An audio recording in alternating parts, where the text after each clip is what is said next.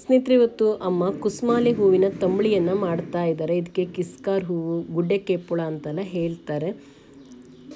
ಇದು ಆರೋಗ್ಯಕ್ಕೆ ತುಂಬಾ ಒಳ್ಳೆಯದು ಶರೀರಕ್ಕೆ ತಂಪು ನೀಡುತ್ತೆ ಅಂತ ಹೇಳ್ತಾರೆ. ಪಿತ್ತ ಇರೋರೆಲ್ಲ ಇದನ್ನು ತಂಬಳಿ ಮಾಡ್ಕೊಂಡು ಊಟ ಮಾಡ್ತಾರೆ, ತುಂಬ ಒಳ್ಳೆಯದು ಅಂತ ಹೇಳ್ಬಿಟ್ಟು. ಹಾಗೆ ಹೆಂಗಸರಿಗೆ ಬಿಳಿ ಮುಟ್ಟಿನ ಸಮಸ್ಯೆ ಇರುತ್ತಲ್ಲ, ಅಂಥವರು ಜೀರಿಗೆ ಹಾಕಿಬಿಟ್ಟು ಇದರ ಕಷಾಯವನ್ನು ಮಾಡ್ಕೊಂಡು ಕುಡಿತಾರೆ.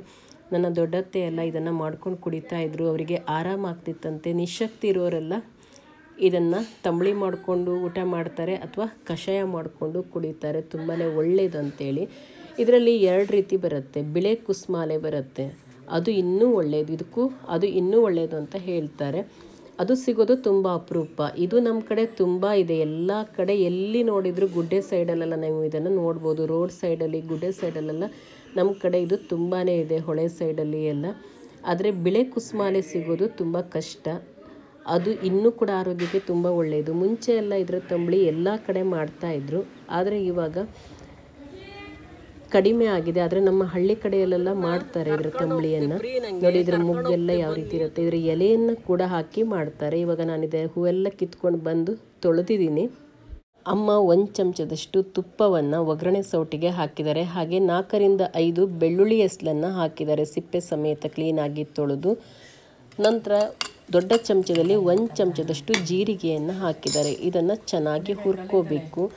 ಜೀರಿಗೆಯನ್ನು ಚೆನ್ನಾಗಿ ಹುರ್ಕೊಂಡಾದ ನಂತರ ಕುಸುಮಾಲೆ ಹೂವನ್ನು ಮತ್ತು ಅದರ ಎಳೆ ಎಲೆಯನ್ನು ಇದಕ್ಕೆ ಸೇರಿಸ್ಕೊಳ್ತಾ ಇದ್ದಾರೆ. ಚಿಗುರನ್ನು ಹಾಕ್ಕೋಬೇಕು. ಎಳೆ ಎಲೆ ಬರುತ್ತಲ್ಲ ಕುಡಿ, ಅದನ್ನು ಹಾಕ್ಕೋಬೇಕು. ಚೆನ್ನಾಗಿ ಇದನ್ನು ಹುರ್ಕೋಬೇಕು. ಕಲರ್ ಚೇಂಜ್ ಆಗುವವರೆಗೆ ಇದನ್ನು ಚೆನ್ನಾಗಿ ಹುರ್ಕೋಬೇಕು.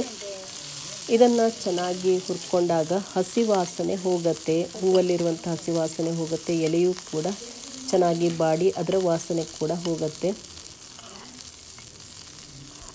ಹಾಗೆ ಇದನ್ನು ಹುರ್ಕೊಳ್ಳುವಾಗ ಎರಡು ಸೂಜಿ ಮೆಣಸನ್ನು ಕೂಡ ಸೇರಿಸಿದರೆ ಇದು ತುಂಬ ರುಚಿಕರವಾಗಿರುತ್ತೆ. ಇವಾಗ ಇದನ್ನು ಮಾಡೋರು ತುಂಬ ಕಡಿಮೆ. ಮೊದಲೆಲ್ಲ ತುಂಬಾ ಮಾಡ್ತಾಯಿದ್ರು ನಮ್ಮ ಕಡೆಯೆಲ್ಲ ಇದು ತುಂಬಾ ಸಿಗತ್ತೆ ಈ ಕುಸ್ಮಾಲೆ ಹೂವು. ಗುಡ್ಡೆ ಕೇಪುಳ, ಕೇಪುಳದ ಹೂವಿನ ಥರನೇ ಇರುತ್ತೆ ನೋಡೋದಕ್ಕೆ ಇದು. ಇವಾಗ ಇದೆಲ್ಲ ಹುರ್ಕೊಂಡಾಯಿತು.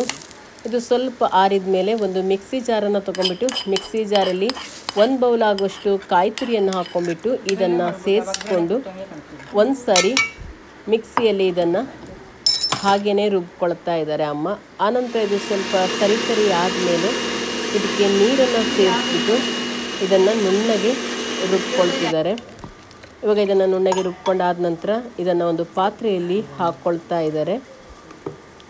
ನಂತರ ಒಂದು ಬೌಲ್ ಆಗುವಷ್ಟು ಮೊಸರನ್ನು ಮಿಕ್ಸಿ ಜಾರಲ್ಲಿ ಹಾಕ್ಕೊಂಡ್ಬಿಟ್ಟು ಅದನ್ನು ಮಜ್ಜಿಗೆ ಮಾಡಿಕೊಂಡು ಅದನ್ನು ಕೂಡ ಇದಕ್ಕೆ ಸೇರಿಸ್ಕೊಳ್ತಾ ಇದ್ದಾರೆ. ರುಚಿಗೆ ತಕ್ಕಷ್ಟು ಉಪ್ಪನ್ನು ಸೇರಿಸ್ತಾ ಇದ್ದಾರೆ. ಹಾಗೆಯೇ ಉದ್ದ ಲೋಟದಲ್ಲಿ ಒಂದು ಲೋಟದಷ್ಟು ನೀರನ್ನು ಸೇರಿಸ್ಕೊಂಡಿದ್ದಾರೆ. ಚಿಕ್ಕ ಚಮಚದಲ್ಲಿ ಅರ್ಧ ಚಮಚದಷ್ಟು ಬೆಲ್ಲವನ್ನು ಸೇರಿಸ್ಕೊಳ್ತಾ ಇದ್ದಾರೆ. ಜೋನಿ ಬೆಲ್ಲವನ್ನು. ಈಗ ಒಗ್ಗರಣೆಗೆ ಒಗ್ಗರಣೆ ಸೌಟಲ್ಲಿ ಒಂದು ಚಮಚದಷ್ಟು ತುಪ್ಪವನ್ನು ಸೇರಿಸ್ಕೊಂಡಿದ್ದಾರೆ. ಹಾಗೆ ಆನಂತರ ಒಂದು ಚಮಚದಷ್ಟು ಜೀರಿಗೆ, ಚಿಕ್ಕ ಚಮಚದಲ್ಲಿ ಕಾಲು ಚಮಚದಷ್ಟು ಸಾಸಿವೆ, ಅರ್ಧ ಚಮಚದಷ್ಟು ಉದ್ದಿನ ಬೇಳೆ ಹಾಗೆ ಒಂದು ಬ್ಯಾಡಿಗೆ ಮೆಣಸನ್ನು ಕಟ್ ಮಾಡಿ ಹಾಕ್ಕೊಂಡಿದ್ದಾರೆ. ಸಾಸಿವೆ ಚೆನ್ನಾಗಿ ಚಟಪಟ ಅಂತ ಸಿಡಿಯುವವರೆಗೆ ಒಗ್ಗರಣೆಯನ್ನು ಹುರ್ಕೋಬೇಕು. ತುಪ್ಪದಲ್ಲಿ ಒಗ್ಗರಣೆ ಹಾಕ್ಕೊಂಡ್ರೆ ತುಂಬಾ ಒಳ್ಳೆ ಟೇಸ್ಟ್ ಕೊಡುತ್ತೆ. ಎಣ್ಣೆ ಒಗ್ಗರಣೆಗಿಂತ ತುಪ್ಪದ ಒಗ್ಗರಣೆ ತುಂಬಾ ಚೆನ್ನಾಗಿರುತ್ತೆ. ಇವಾಗ ಒಗ್ಗರಣೆ ಸಿಡಿತಾ ಇದೆ. ತಂಬಳಿಗೆ ಈ ಒಗ್ಗರಣೆಯನ್ನು ಈಗ ಸೇರಿಸ್ಕೊಂಡ್ರೆ ತಂಬಳಿ ರೆಡಿ ಗುಡ್ಡೆ ಕೇಪಳದ ತಂಬಳಿ ಇವಾಗ ರೆಡಿಯಾಗಿದೆ ತುಂಬಾ ಚೆನ್ನಾಗಿರುತ್ತೆ. ನೀವು ಕೂಡ ಒಮ್ಮೆ ಟ್ರೈ ಮಾಡಿ ನೋಡಿ. ಇದು ಕುಡಿಯೋದಕ್ಕೂ ತುಂಬ ಚೆನ್ನಾಗಿರುತ್ತೆ. ಅನ್ನದ ಜೊತೆಗೂ ತುಂಬಾ ಚೆನ್ನಾಗಿರುತ್ತೆ ಇದು.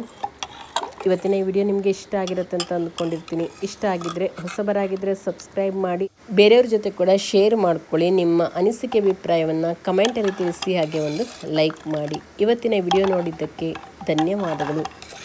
ಈ ಕೇಪುಳ ಗಿಡದಲ್ಲಿ ಹಣ್ಣು ಕೂಡ ಆಗುತ್ತೆ ತುಂಬಾ ಟೇಸ್ಟಿಯಾಗಿರುತ್ತೆ ಅದು ಕೂಡ.